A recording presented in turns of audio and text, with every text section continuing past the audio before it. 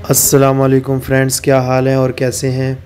उम्मीद करता हूँ आप ठीक होंगे। अच्छा आज मैं आपको के इलेक्ट्रिक का ऑफ़िस है, उसकी लोकेशन बताऊँगा। जेल चुरंगी से टीपू सुल्तान रोड तक। पहले ये जो था, नौरानी कबाब पे था, अब उनका चेंज हो गया है ऑफ़िस ना। तो अब अब उन्होंने टीपू सुल्तान रोड है, वहाँ पे जाके अपना ऑफ़िस मतलब ओपन किया है। तो मैं आपको वही लोकेशन दिखा रहा हूँ। तो आप देखिएगा मेरी वीडियो को लास्ट तक। और आपसे अगर आपको ये वीडियो पसंद आए, अच्छी लगे तो इसको लाइक करिएगा शेयर करिएगा और मेरे चैनल को सब्सक्राइब करिएगा। Thank you